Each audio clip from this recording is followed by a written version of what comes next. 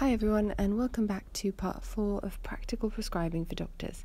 So far, we've covered laxatives, antiemetics, analgesia, VTE, and antibiotics.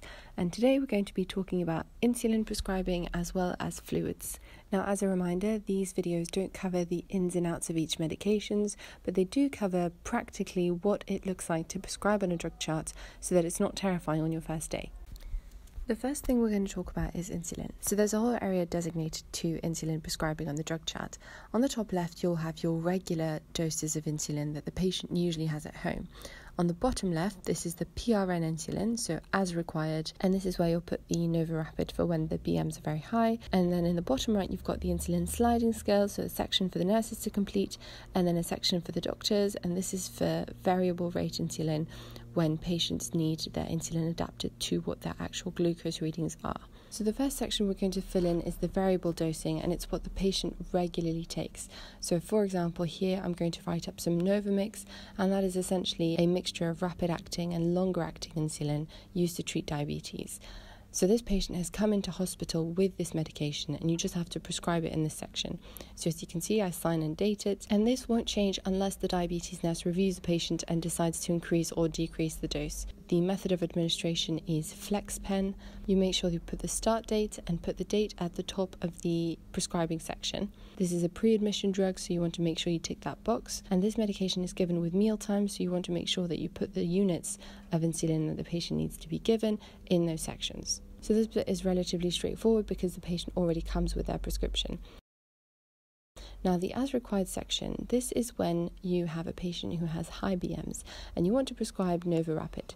So, NovoRapid is a rapid acting insulin analog, which means it's very similar to insulin made by the body, but is absorbed faster and is used to reduce high blood sugars. So, this is a bog standard rapid acting insulin that you'll see given in hospital. Always check your trust guidelines because they might differ slightly, but this is generally what you'll see prescribed. So there's two doses you would write up. Four units of NovoRapid would be given if the BMs are over 15, and six units of NovoRapid would be given if the BMs are over 20.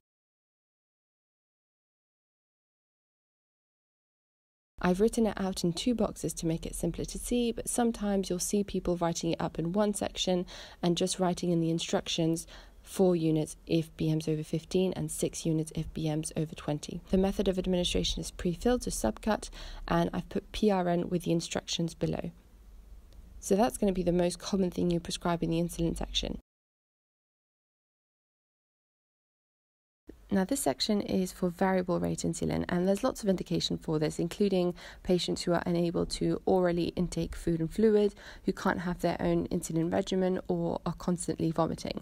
Um, and this is going to be very much directed by your own trust guidelines. So, this top section the nurses will fill in, and in this section here, doctors will fill in the blood glucose results and how much insulin they want given for each of those glucose levels and this again will be dependent on the trust guidelines. This is an example of what it may look like. Now we get to end of life medications. Now, I included this because I think it's very helpful to have an idea of what's written up for patients who are nearing the end of their lives. Hospitals have palliative teams who get involved and will be able to guide you in the medication prescriptions, but it's very helpful to know these four medications because they're typically the ones that are given and they're quite easy to remember. So, the first medication is oxycodone. Now, this is given for pain management and to help with breathing.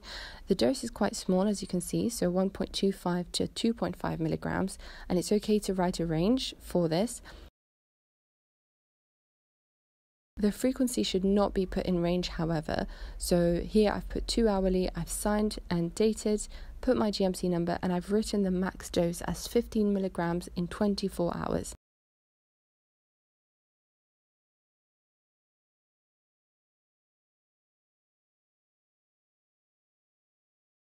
So the next medication is haloperidol, and this is given for agitation, confusion, and even nausea.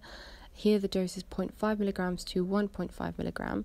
The route is subcut, and you can give this three times a day, so TDS. It's a new medication, so tick that new box, sign, date, and GMC number as usual. It's always helpful to put the maximum dosage for these palliative medications. So here I've put 4.5 milligrams in 24 hours.